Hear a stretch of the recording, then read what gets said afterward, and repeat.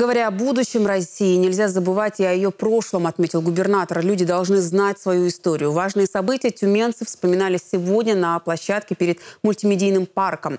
Там в честь Дня народного единства состоялся фестиваль «Наша география». В целом празднования сегодня проходили на 30 площадках города. Выступали национальные ансамбли, были организованы конкурсы и квесты. Все подробности у Ларисы Соловьевой.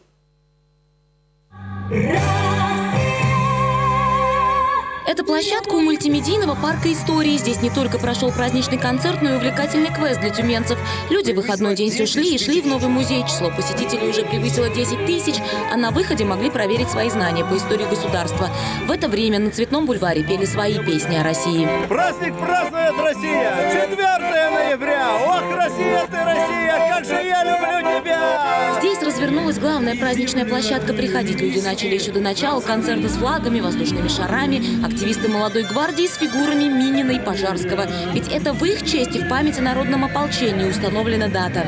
Минин и Пожарский – люди, которые организовали народное ополчение и освободили нашу страну от польских, польской интервенции. И хотя было все это в начале 17 века, история учит многому и современную Россию. Мы должны думать о том, что когда мы не едины, а такое иногда, к сожалению, бывает, к сожалению, этим пользуются наши недруги, и страна попадает в сложную ситуацию.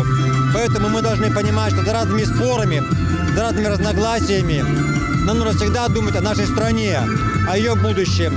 И тогда у нас будет счастливое будущее. Вот и концерт в центре Тюмени должен был подчеркнуть разнообразие и единство региона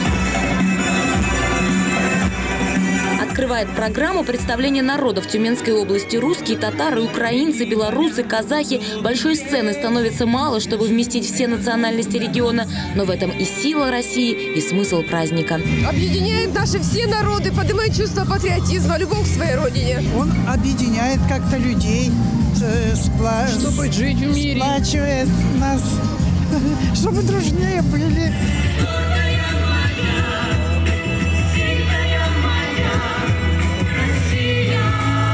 Лариса Соловьева, Павел Михайловский. Тюменское время.